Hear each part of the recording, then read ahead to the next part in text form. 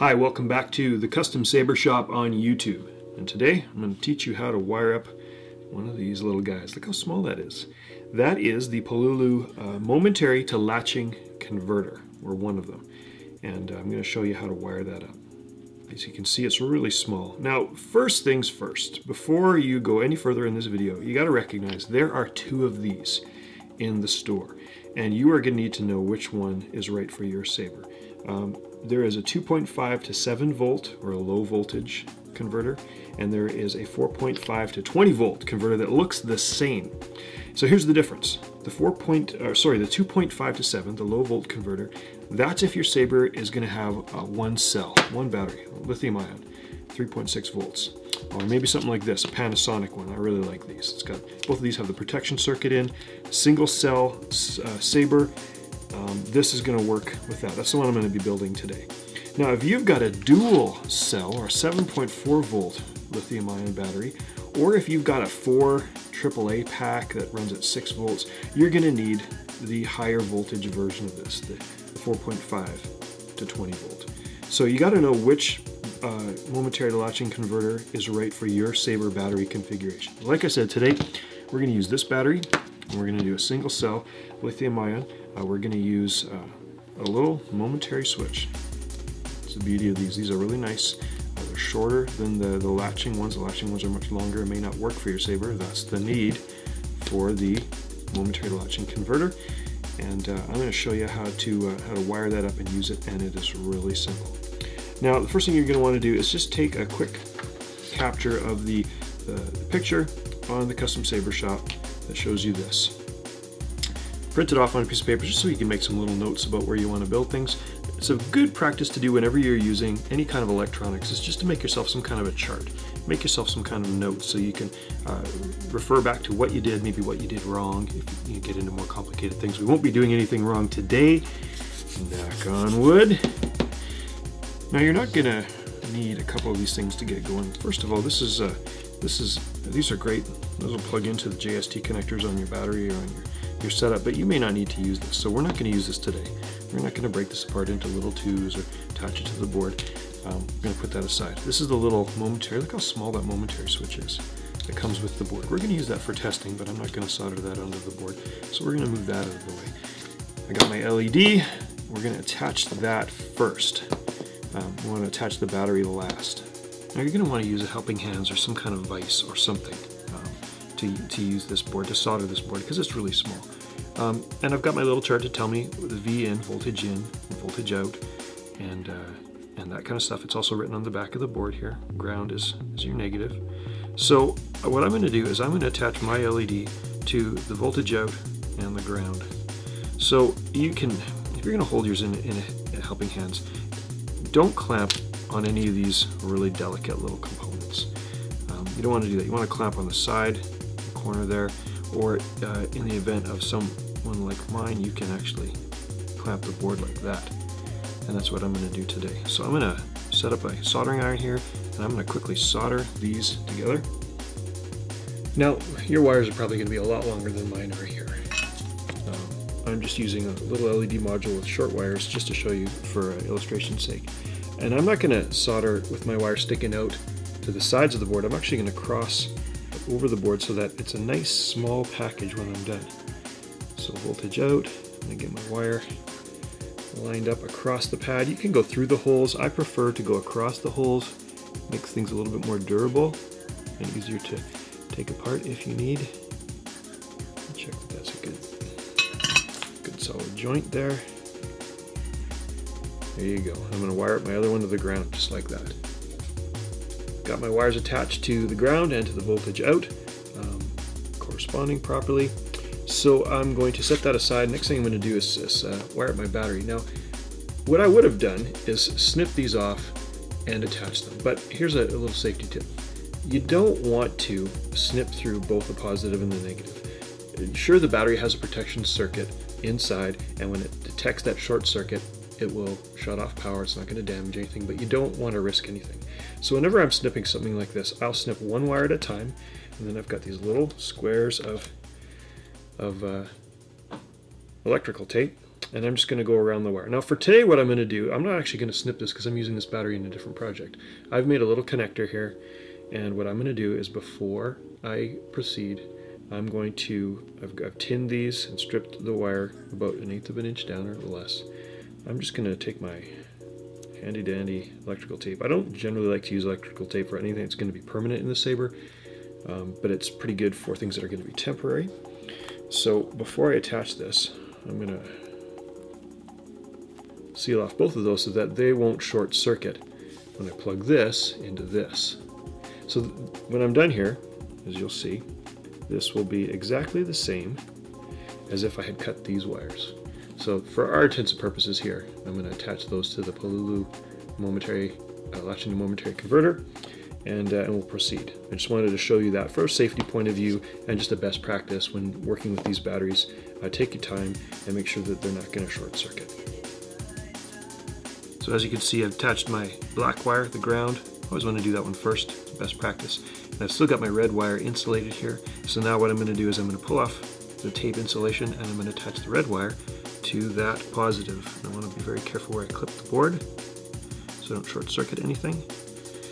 Anyways, I'm going to attach that wire here next and then we'll proceed. So I've got my LED wires attached to the voltage out and ground. I've got my battery wires attached to the voltage in and ground.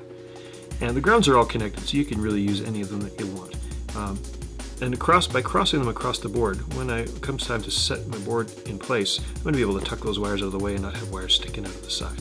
That's why I did that. Now, come time, uh, we're ready to test this, so we're going to flip this over. And where you're going to attach your switch is these two holes right here and here. Those are the leads that are going to go to your switch. We're going to wire those to our switch. But to test it, here's what I'm going to do. This little guy that came with the, with the kit, I'm actually just going to snap him in these two little holes here, right in the middle of the board. And when he's in place, I'm just going to use him now to test. Because when I tap this momentary button, the switch should latch. And our LED comes on. Exactly like I want it. Tap it again, LED goes off. Saber on, saber off. Saber on, saber off. That's the beauty of this little guy. So any momentary switch that's now attached to those wires is going to work. Now, I, I can disconnect my battery because I made a clip there. You may not be able to. So it might be wise to attach your switch wires to your switch first and then attach the battery. Um, it will work either way. Generally, you want to always attach your battery last. It's a good best practice.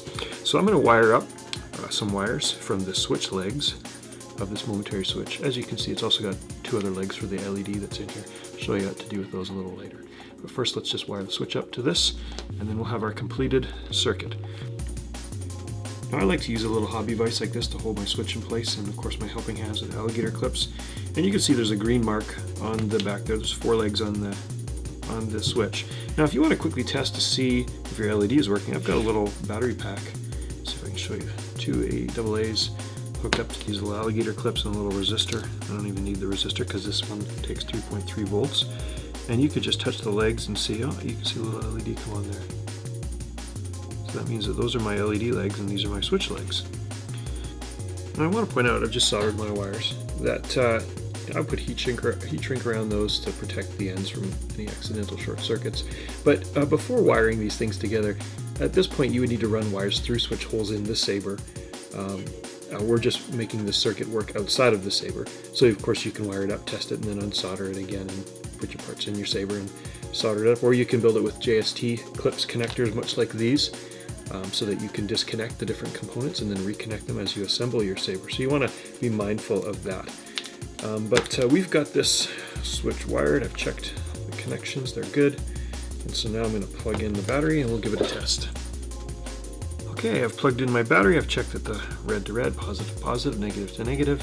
I've got my switch here. I should press the switch and my LED comes on.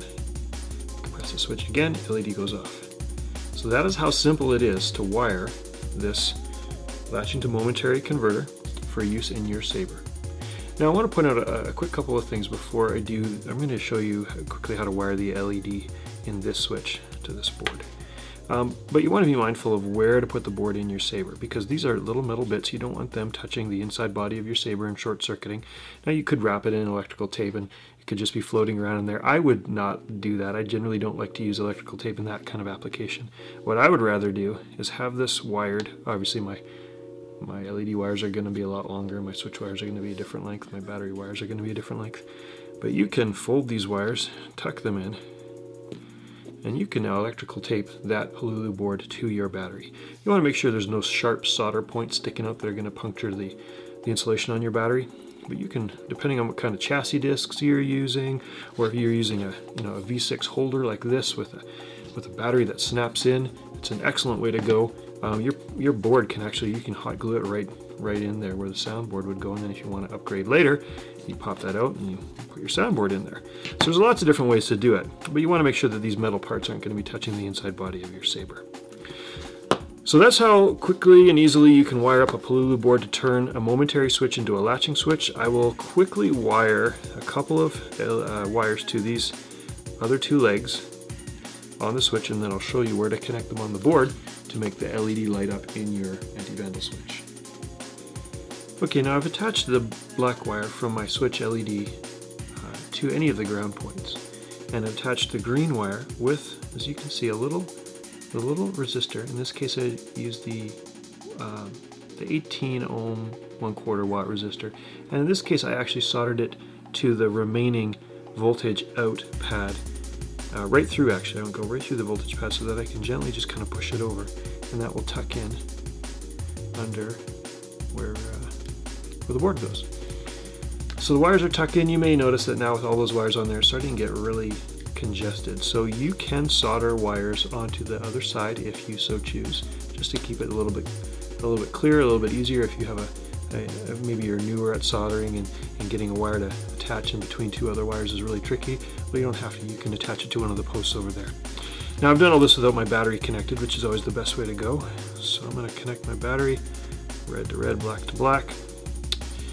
And you'll notice that there's no indicator LED on because there's no power going through the circuit. And when I activate it, well now there's power going through the circuit to my main LED and there's power going to my auxiliary or to my AV switch LED. Press it again, circuit goes off. So using the same voltage out pads going to the LED and ground, um, this LED draws a lot less power, 20 milliamps, so you don't have to worry about it you know, being overpowered, and I've got that resistor on there to protect it. Of course, I could wire resistor, wire the resistor here if I wanted to, if I have room in my saber to wire it here. I generally don't like to heat shrink over the whole resistor. Um, you may notice that most of the resistor is exposed, just heat shrink over the, the metal part there because the resistor is designed to dissipate heat, and if there's heat shrink over top of it, it inhibits its ability to dissipate heat. So that's kind of the advanced version with a, a lit AV switch, but there you go. That's how simple it is to use the uh, latching to momentary converter boards from the Custom Saber Shop. Thanks again for watching.